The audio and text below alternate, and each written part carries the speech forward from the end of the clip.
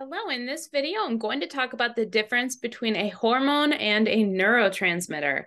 Um, so to put it simply, a hormone is part of the endocrine system. It's when a chemical messenger is released and transmitted through the blood. Uh, compared to a neurotransmitter, which is also a chemical messenger, but it is transmitted across the synaptic cleft at a chemical synapse. So it is part of the nervous system. Now, the question is can one chemical be both a hormone and a neurotransmitter? And the, the answer is yes, of course it can be. Uh, there are many chemicals in the body that are used as both hormones and neurotransmitters in different places in the body. Um, so, not all are used as both, but many are. So there are some chemicals that are only hormones, some chemicals that are only neurotransmitters, and some chemicals that function as both.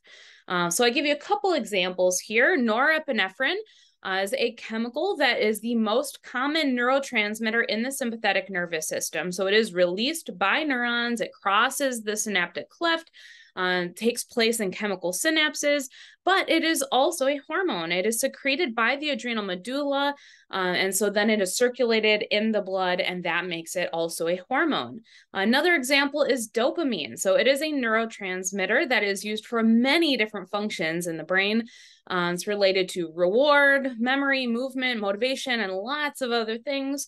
Um, but it's also released as a hormone into the bloodstream.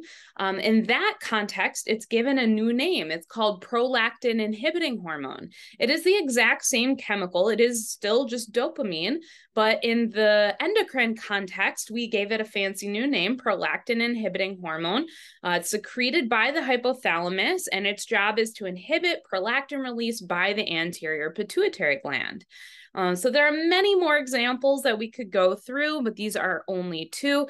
Um, so just to clarify, whether uh, whether a chemical is a hormone or a neurotransmitter is not about the chemical itself, because the chemical could be either one or both it is about where it's used. So it's about whether it is secreted by a neuron and used in a synapse, or is it secreted into the blood and circulated throughout the body? So that is the big difference, regardless of what the chemical is that is being used in whichever way.